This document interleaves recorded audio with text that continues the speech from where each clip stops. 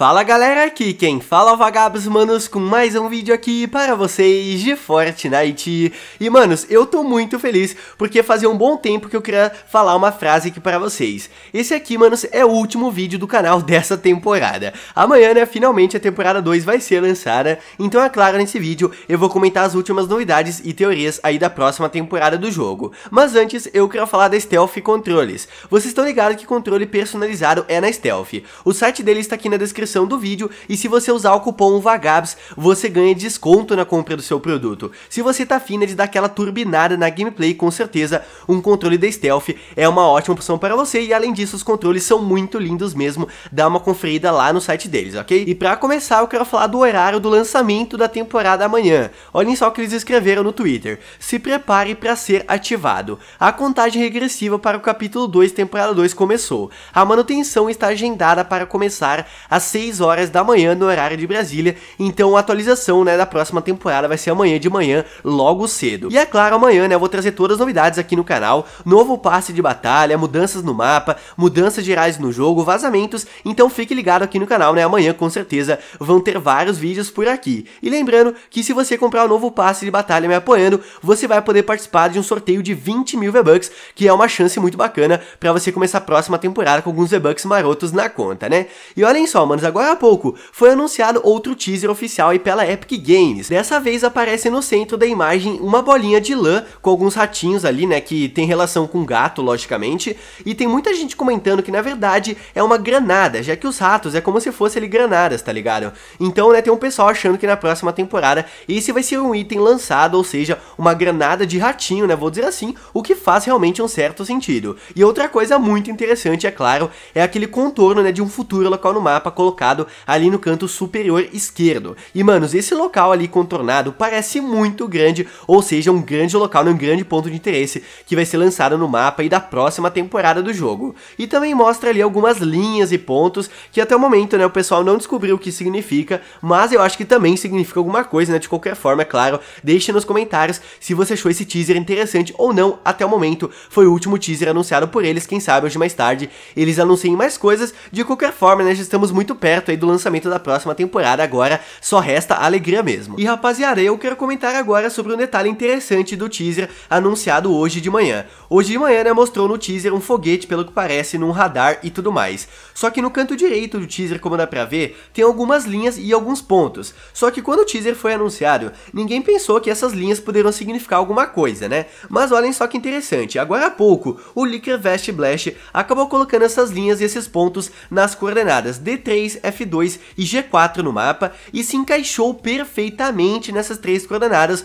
o tamanho ficou muito igual, né, como dá pra ver aí na tela. Aí você me pergunta, tá, mas por que isso significa alguma coisa? É que eu não sei se vocês lembram, mas no áudio encontrado lá na Alemanha falava o seguinte, siga o agente D3, G4 e F2. Então a mulher, né, que falou no, no telefone, no áudio no caso, mandou, né, seguir o agente nessas três coordenadas no mapa e agora, coincidentemente, essas linhas e os pontos encontrados aí no teaser do foguete, né, se encaixa perfeitamente nessas coordenadas, então quem sabe na próxima temporada pode ter algumas pequenas mudanças nesses locais do mapa, né, só que claro, nada confirmado ainda, mas um detalhe bem da hora. E outra coisa muito interessante é sobre o significado de Midas. Bom, acho que esse ponto, né, todo mundo tá ligado que três teasers mostraram letras. O primeiro teaser, né, que mostrou letra, mostrou várias vezes a letra M, depois várias vezes a letra I e D, e o último teaser do foguete mostrou várias vezes a letra A e S, né, formando a palavra Midas, que como eu já comentei, é um personagem da mitologia grega que tudo que ele tocava virava ouro, né, o conhecido rei do ouro.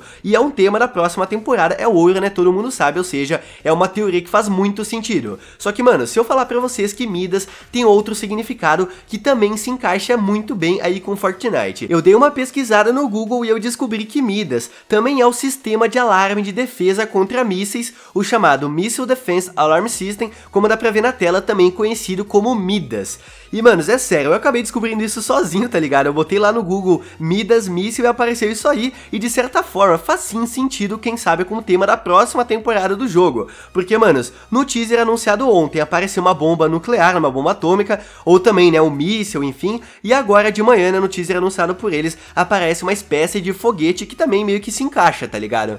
Então, manos, sistema de alarme de defesa contra mísseis pode ser, na verdade, o real significado de Midas que apareceu nos três teasers que eles anunciaram aí pra gente. Mas também tem uma teoria de que seja de fato, né, o Rei do Ouro, que também faz muito sentido, já que todo mundo sabe que ouro tem a ver com o tema da próxima temporada. Mesmo assim, achei uma parada bem interessante para ser falada aqui também. Quem sabe mesmo na próxima temporada algumas áreas do mapa, né, sejam atingidas aí por bombas nucleares, mísseis e tudo mais. E bom, o último detalhe para ser comentado sobre esse teaser é sobre o foguete. Tipo assim, no vídeo que eu postei hoje mais cedo, eu falei que muita gente tá acreditando que na próxima temporada vai voltar a história dos vilões e dos heróis, já que no teaser, né, do botijão de gás aparecem vários fragmentos dourados e unindo os fragmentos forma praticamente aquele símbolo dos heróis que estava no mapa durante a quarta temporada. E tipo assim, manos, olhando agora o foguete, o que vocês lembram olhando o foguete? Com certeza o visitante, né, já que o visitante lançou o foguete na quarta e na décima temporada durante o primeiro capítulo. E coincidentemente, teve lançamento do foguete na quarta temporada e a história dos heróis e dos vilões também foi na quarta temporada.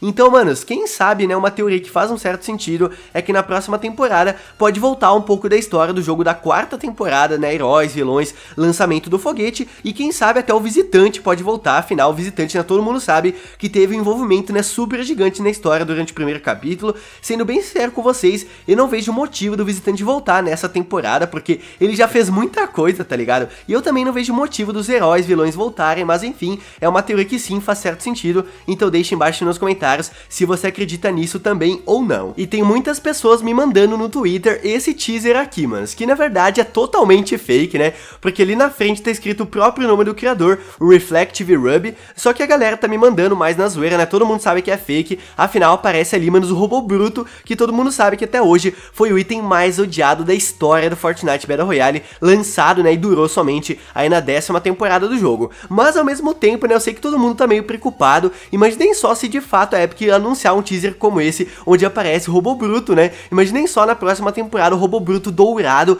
você nem ia conseguir destruir o robô, tá ligado? Só que claro, é um teaser, não é oficial, tá, é totalmente fake, ele foi criado na zoeira mesmo assim, achei engraçado pra mostrar aqui nesse vídeo para vocês. E por fim, gurizada, o último assunto que eu separei nesse vídeo são algumas mudanças que vão acontecer no jogo amanhã, já com o lançamento da próxima temporada. Várias mudanças vão acontecer no modo Equipe Tumulto. Olhem só, na próxima temporada, nesse modo, vai ter somente armas da raridade rara pra cima, ou seja, armas das cores azul, roxa e dourada, as bandagens vão ser removidas, o redeploy vai ser uma habilidade padrão de cada jogador, então você não vai precisar, né, ocupar um espaço na mochila com redeploy, pra mim pelo menos uma mudança bem positiva, você já começa a partida com bastante material, 150 de madeira, pedra e metal, bastante recurso mesmo, vai estar desabilitado o matchmaking baseado por habilidade, então não vai mais ter aquele tempo de espera absurdo, e a meta de eliminação do modo vai de 100 para 125, ou seja, na temporada 2 do Equipe Tumulto as partidas vão durar um pouquinho mais,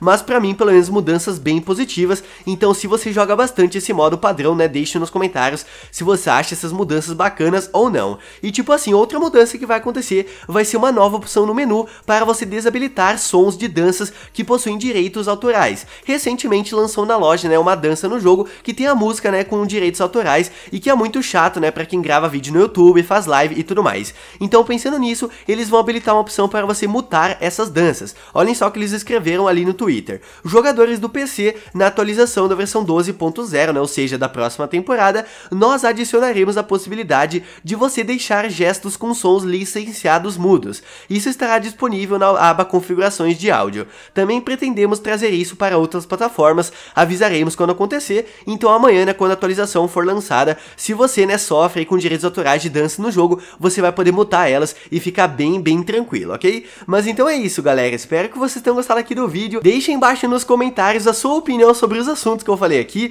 o que você acha que vai ser o tema principal da próxima temporada, será que o tema principal vai ser o bunker, vai ser o desenrolar da história do Alter e Ego, ou vai ser ouro o tema principal? Enfim, eu quero saber, é claro, as opiniões de vocês, e lembrando, né, novamente, se você for comprar um novo passe e você quiser me apoiar, além de você estar dando uma força gigantesca pro canal, você também vai poder participar de um sorteio de 20 mil V-Bucks. E não se esqueça também de deixar o like se você está muito ansioso aí pro lançamento da próxima temporada e também mandar o um vídeo pro amigo seu, né, que também tá muito, muito ansioso para chegar logo amanhã e ver todas as novidades. Aí no jogo, é claro, todas as novidades eu vou trazer aqui no canal para vocês, beleza? Então é isso, manos, aquele abraço, se vemos no próximo vídeo, valeu, falou, se eu fui!